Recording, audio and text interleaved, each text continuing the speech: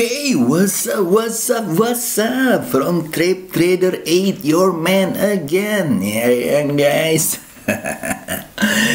Jadi hari ini kita akan bahas untuk saham Amerika guys ya dan saham Google profit cuan dari saham US ini guys ya. Jadi kalau kalian lihat ya uh, market di eh, US ya lagi ter ini ya guys ya. Lagi tertekan ya. Kalau kita lihat di sini uh, eh, SPX ya 500 itu kalau nggak salah udah hampir uh, turun udah dalam weekly-nya ya. Weekly-nya udah turun jebol ke bawah gitu ya guys ya. Dan the lowest dari tahun 22 ya hari ini itu kalau nggak salah di 4260 ya. Dan masih subjek untuk turun karena masih satu banyak sentimen negatif yang yang dilakukan gitu ya guys ya. Yang di mana eh, apa namanya salah satu sentimen negatifnya adalah Rusia invasi ke Ukraina. Jadi eh, global tension ya guys ya di mana Rusia akan melakukan invasi ya penetrasi ke daerahnya Ukraina. Sedangkan Ukraina yang tadinya mau bergabung dengan NATO gitu ya dan hari kemarin ya perkemarin US dan NATO uh, Europe ya UK juga memban sanction terhadap Rusia gitu ya. Seperti yang kita tahu juga Rusia banyak ekspor ya ke BBM dan juga uh, apa namanya? Uh, uh, gas ya ke Eropa gitu ya.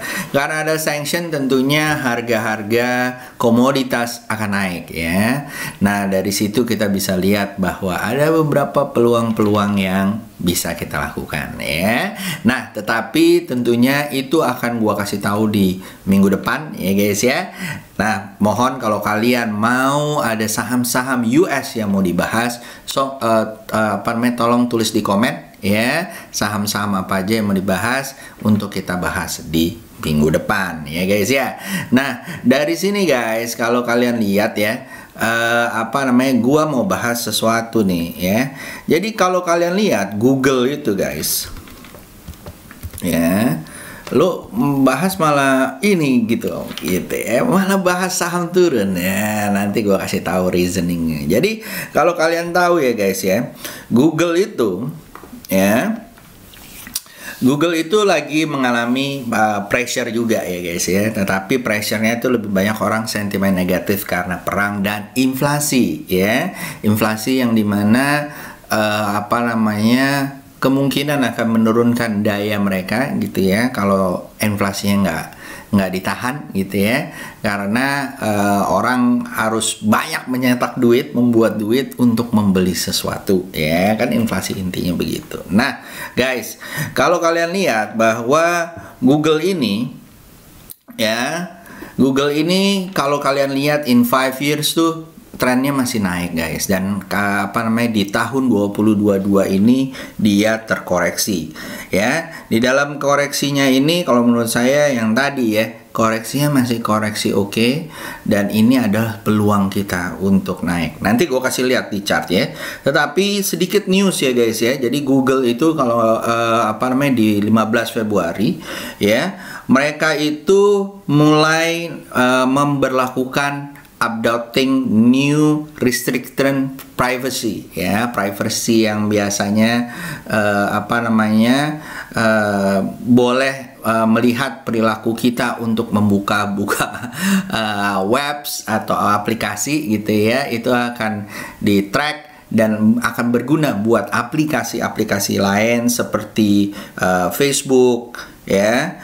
Uh, apa namanya atau Meta gitu ya salah satunya. Nah Uh, kebijakan Google ini mengikuti juga kebijakan Apple yang dibuat di tahun lalu di iPhone ya, yang di mana mereka juga menstop aplikasi untuk tracking uh, apa namanya uh, tracking uh, appsnya kamu ya. Bukaan apps kamu. Apa aja nih yang kamu sering buka? Apa aja sih yang kamu nah Google juga melakukan tersebut gitu ya.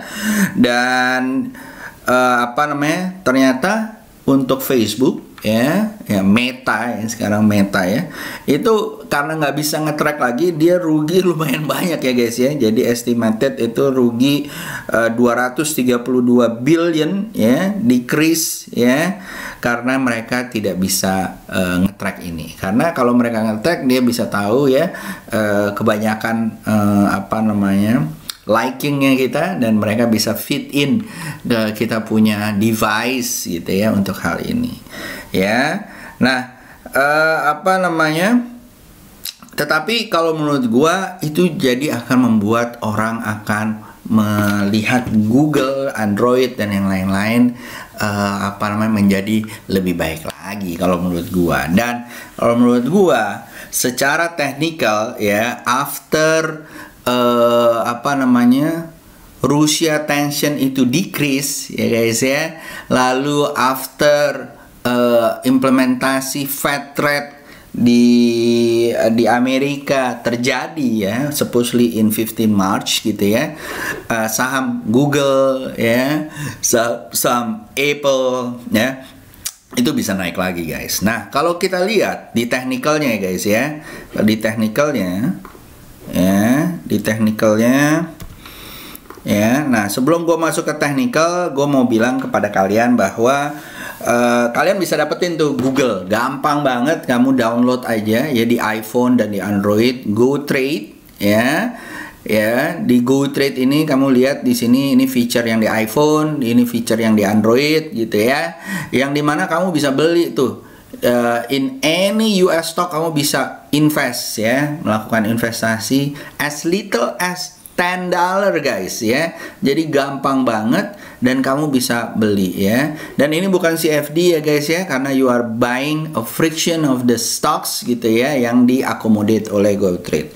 Dan GoTrade ini uh, apa namanya sudah uh, berafiliasi yang di mana quite legit ya, sangat legit ya. Nah, Gua masuk lagi ke chart ya guys ya. Jadi kalau di chart kalau kalian lihat ya Go Trade eh Go Trade iya apa namanya Google ya guys ya. Jadi kalau kalian lihat secara earning selalu above ya estimasinya di 27 April dia turun ya tapi kalau menurut gua he can raise to the occasion gitu ya guys ya yang di mana dia naik kalau kalian lihat di annualnya juga naik secara annual juga naik ya, net income-nya juga naik. Lalu secara quarter juga lumayan gitu ya, revenue-nya naik terus sampai Q4 2021 ya. Jadi kalau menurut gua apalagi dengan adanya Omicron dan yang lain-lain, orang back to house gitu ya, to their home and probably using their digital to do it. And then what else that you can do? We dengan untuk mencari ya tentunya biasanya pakai Google ya guys? Ya tanya Mbah Google. Ya guys? Nah tetapi memang dia lagi strong sell ya guys ya. Strong sell. Analis ratingnya aja masih one buy. Kalau one price target ya guys ya. Tapi kalau technical secara mingguan gitu ya masih strong sell.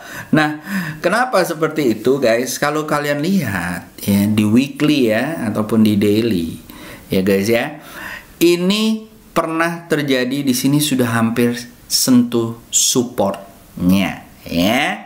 Lihat ya lihat ya. Nah jadi kalau menurut gua kalau misalnya seperti ini ya ada kemungkinan kalau misalnya uh, dia mantul ya within one week gitu ya bolehlah dibeli dengan target 2874 3000 or even all time high.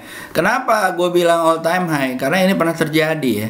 Sekali dua kali sentuh langsung jalan ya sekali dua kali sentuh langsung jalan ya ini juga ya dar ya di 2021 juga begitu sekali dua kali dar gitu ya nah ini juga ya ya sekali habis itu dua kali biasanya terbang ya guys ya. Jadi uh, itu ya. Dan kalau lihat di daily di daily ya ini juga sama guys ya jadi ini kalau dilihat garisnya udah sampai biru ya. Di gambarnya gua gitu ya. Jadi kalau dia sentuh ya kalau kalian trade di daily gitu ya atau invest uh, melakukan investasi dengan time frame daily gitu ya ini bisa kelihatan nih der. Ya dan ini bisa jalan ya target 2920 3000 even projectnya sih sampai 3600 gitu ya. Jadi kalau menurut saya ini bisa di uh, apa namanya dilihat-lihat gitu ya. jangan dibeli dulu sekarang ya kalau gua setupnya adalah tunggu mantul ya tunggu mantul dari support ini boleh lah dan ini kan lumayan banget ya dengan uh, risk ratio yang sangat kecil ya taruh aja SL di bawah 2475 gitu ya menuju 2923 ya. Monggo dicoba-coba guys karena kalau menurut gue ini bagus banget dan mudah-mudahan bisa membantu kalian meraih cuan di bulan Februari ini ya. Dan jangan lupa guys kalau kalian mau download ya jangan lupa pakai kode invitation ini atau use the link yang ada di deskripsi gua 694473 ya. Jangan lupa 694473. Oke? Okay? Itu aja dari gua. So semoga be, apa namanya akan berguna buat kalian. See you nantikan di minggu depan. See you guys. Have a good day. Bye bye.